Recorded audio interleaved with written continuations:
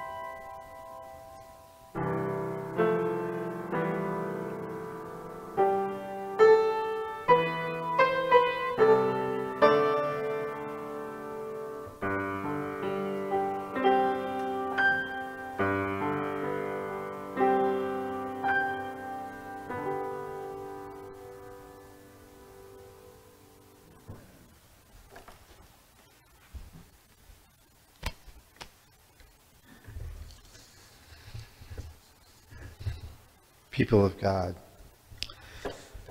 We have wonderful stories to tell, glorious songs to sing, and good news to share. On this joyous morning, we retell the story of the birth of our Lord, laying it alongside other stories of fiction and truth in our lives and in the world, that we might find this joy all year long. Come, all ye faithful, let us worship the Lord.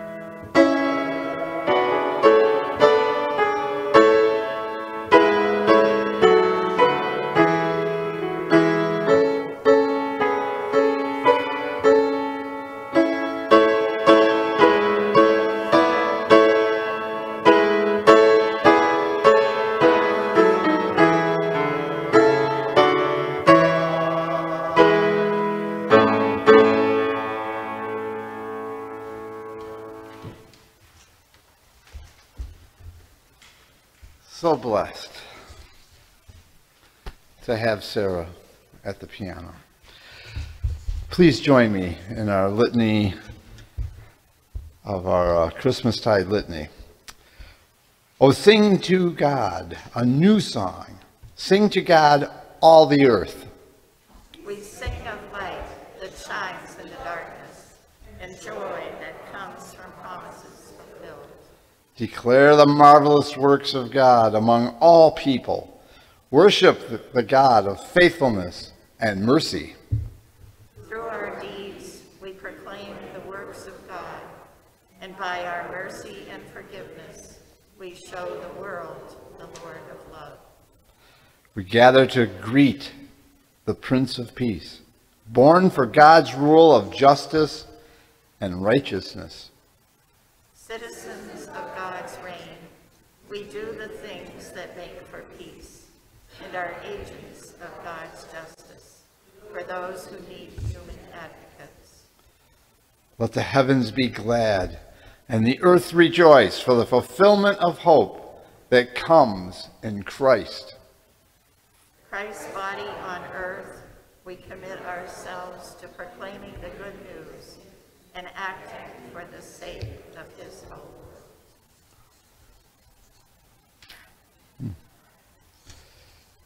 As we dedicate our offerings of thanksgiving and praise, let us hear these words from Scripture. After eight days had passed, it was time to circumcise the child, and he was called Jesus, the name given by the angels before he was conceived in the womb. When the time came for their purification according to the laws of Moses, they brought him up to Jerusalem to present him to the Lord. As it is written in the law of the Lord, every firstborn male shall be designated as holy to the Lord. And they offered a sacrifice according to what is stated in the law of the Lord a pair of turtle doves or two young pigeons.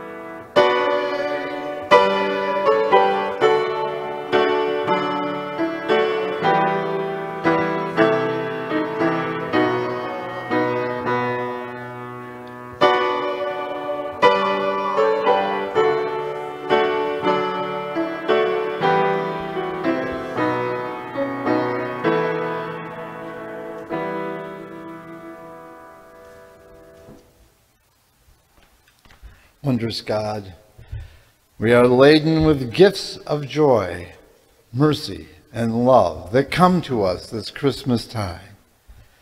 We are grateful that you have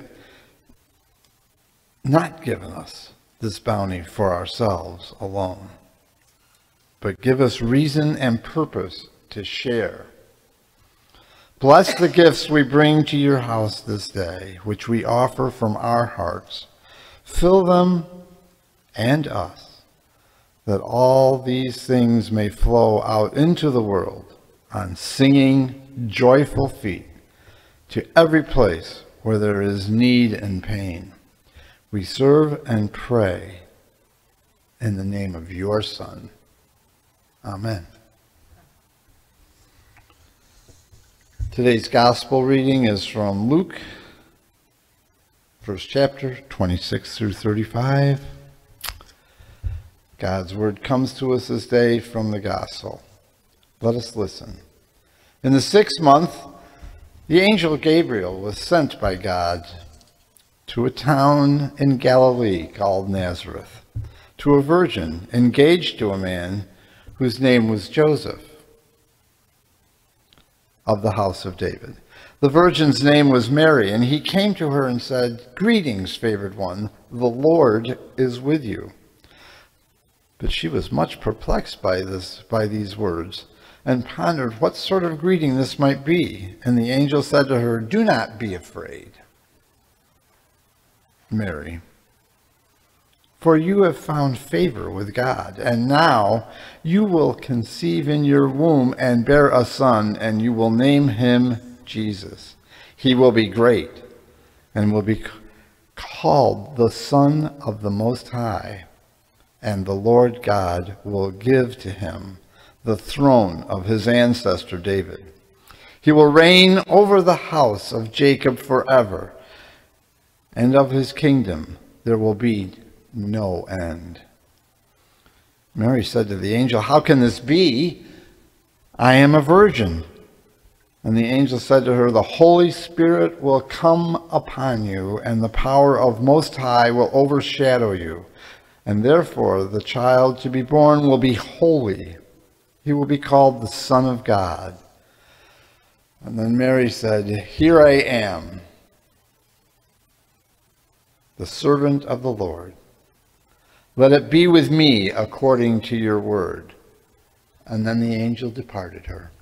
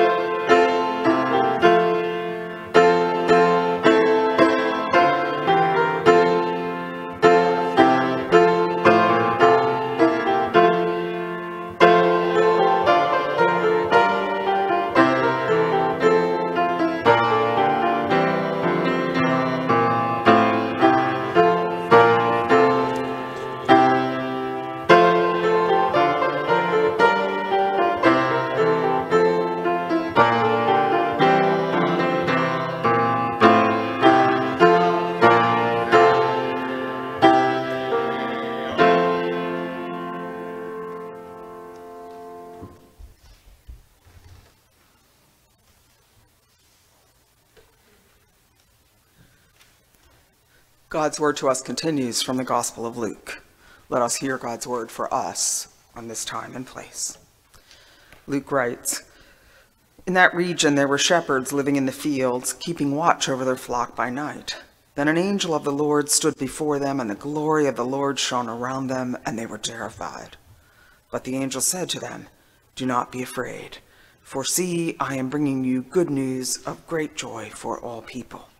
To you is born this day in the city of David a Savior, who is the Messiah, the Lord. This will be a sign for you. You will find a child wrapped in bands of cloth and lying in a manger.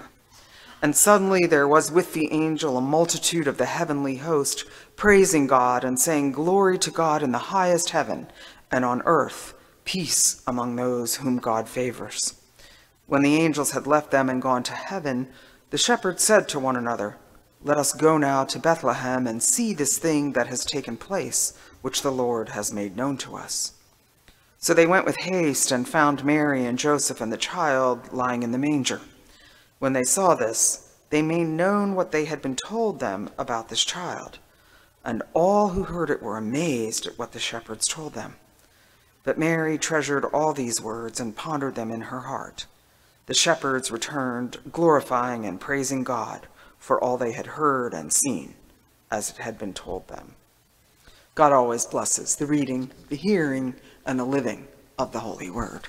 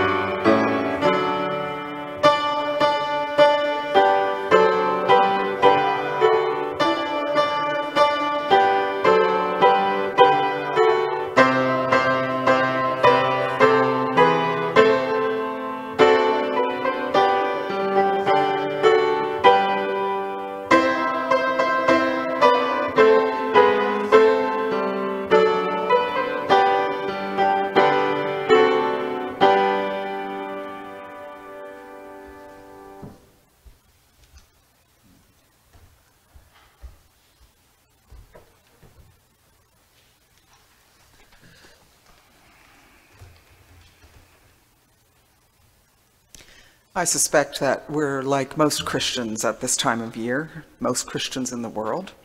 We like to think that 2,000 years of hindsight gave us, gives us vision to see God's Savior in whatever form God might send, whenever God might send one. So we think that we are more like the shepherds rushing to see the baby than the innkeeper who missed an opportunity. We like to think that we're singing with angels, and that we would make room in the inn of our hearts and lives for a God who can come and does come unexpectedly at any time of the day or night, at any time of the year. I suspect we are like most Christians at this time of the year. Today, I'd like to tell a story about someone who is like us. Her name is Lila. She is an average Christian woman. Perhaps in some ways, she is more than average. Her church attendance is pretty good, maybe even better than most. She even comes to church on the Sunday after Christmas. She brings her family on holidays and guests when they are in town. She does hate to miss a Sunday morning. She likes the music, stays awake during the sermons, and helps occasionally with fellowship and greeting at the doors. Lila doesn't agree with everyone else's religious ideas, but all the time, but she has a live and let live attitude. She thinks she's a pretty good person, and she's right. About average. And while she doesn't think she's really, really smart, this time of year, listening to all the readings of the prophets, hearing about the signs of something of the coming of God's promise, she finds herself thinking, like many of us do, that unlike an innkeeper from long ago, she'd be smart enough to recognize the baby Jesus when he showed up. Lila's, Lila is pretty much like we are. Around this time of year, we are like in other ways. Her pre-holiday list frightened her as it just grew and grew. It grew right out of control. She never did get everything done, let alone what she had on her list for the new year. She hasn't even begun that yet. So, on this first Sunday after Christmas, she was glad to know that they would be getting out of church a little bit early, and we will, because it gave her a chance to do some of the her post-Christmas shopping before crowds hit the stores. Snow was predicted, so she set the alarm for a little earlier than usual. With a sigh, she got out the snow shovel and cleared the driveway and the sidewalks yet again. She was almost finished when in the dim light she saw a man come down the street walking his dog. She didn't know his name, but she saw him almost every day.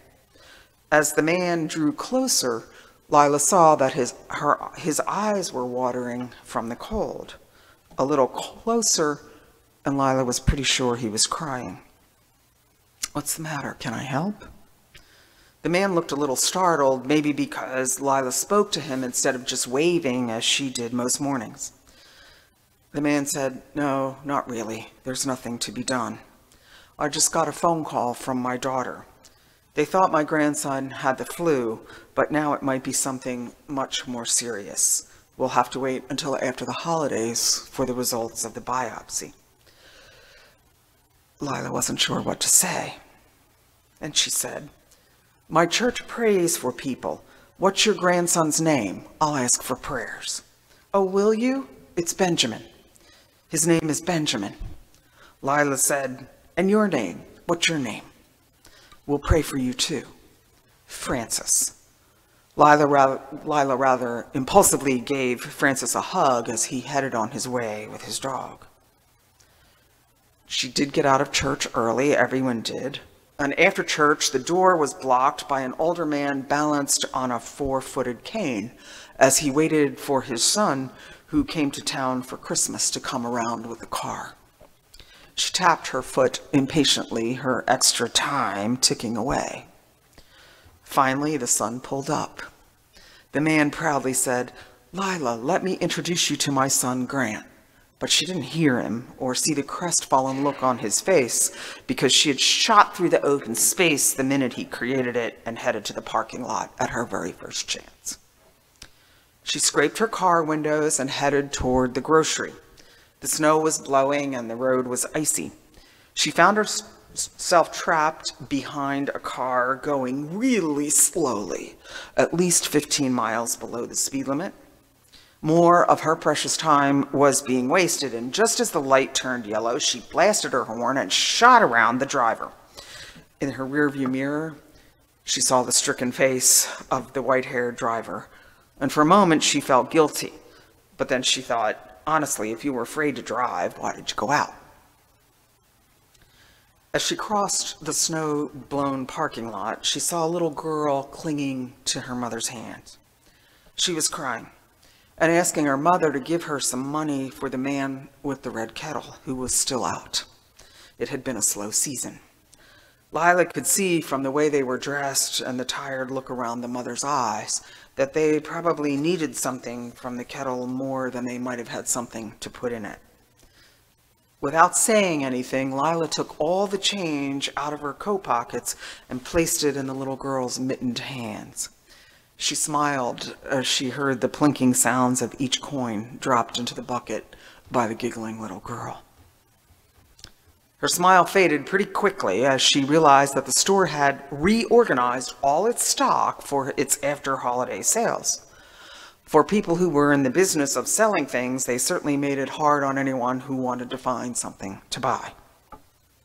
Her mood didn't improve when she got to the register, where they, of course, had a trainee working. And apparently, the customer in front of her had failed either reading or math, as she exceeded the express limit line by about 15 items. Lila rolled her eyes as the cashier called over some help from the service desk. In halting English, the customer in front of her asked for help deciding which items she could purchase with food stamps. The manager respectfully helped her finish her transaction. Lila calmed down. When it was her turn, she said to the cashier, I'm sorry I was impatient. It's hard to know who needs help or who is making an honest mistake and who is just taking advantage of ignoring the rules. Finally home, she sorted the mail she'd let pile up in the last few days and tossed unopened what was an obvious Christmas card because she didn't recognize the sender. It was probably some sales or slick donation appeal. Lila never knew an old friend had remarried and moved back to town.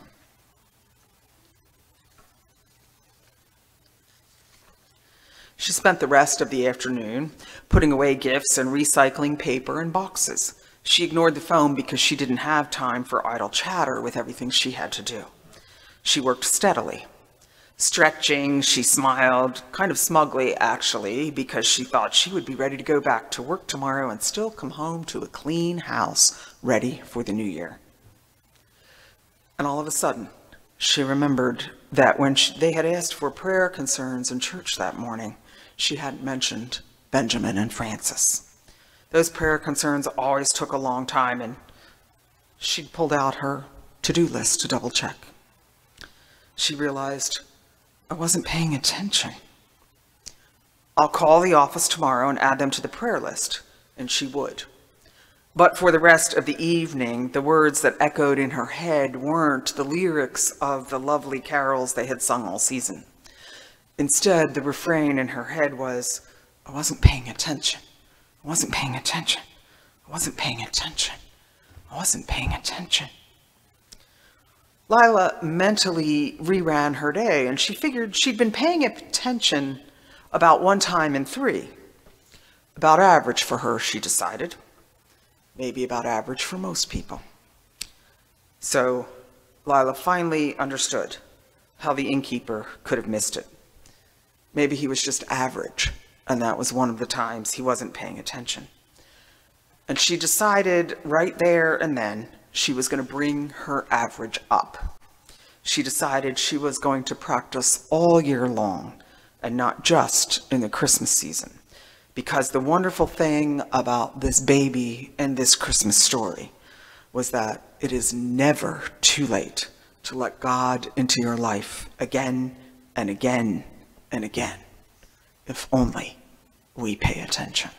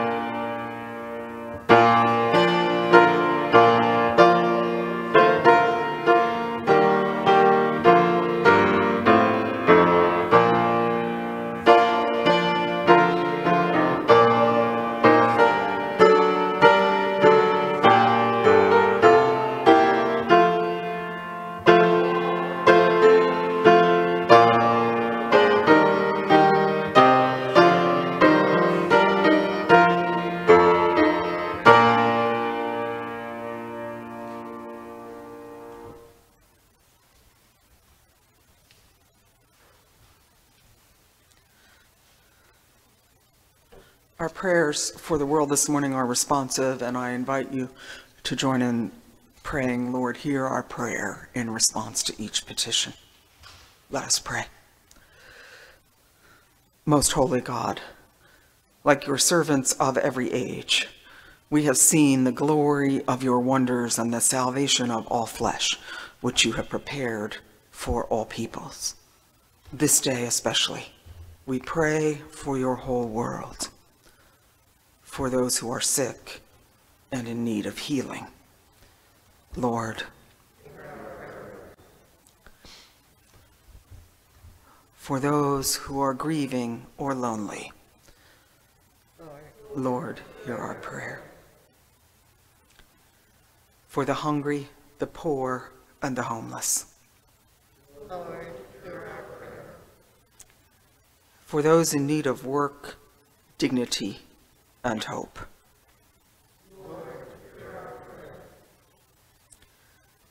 For places where natural disasters have destroyed homes and lives. For places where power is misused. For the leaders of our city, nation, and world. Lord, hear our prayer. For places where peace has not yet come. Lord, hear our prayer. For your church in every place. Lord, hear our prayer. For the earth. Lord, hear our prayer. Lord, do hear our prayers and grant us the grace to work for that for which we pray. With these people here and with these words, with people around the world, the prayer your Son taught us to pray together, saying, Our Father, who art in heaven, hallowed be thy name. Thy kingdom come, thy will be done, on earth as it is in heaven. Give us this day our daily bread. Forgive us our debts as we forgive our debtors. And lead us not into temptation, but deliver us from evil. For thine is the kingdom and the power and the glory forever. Amen.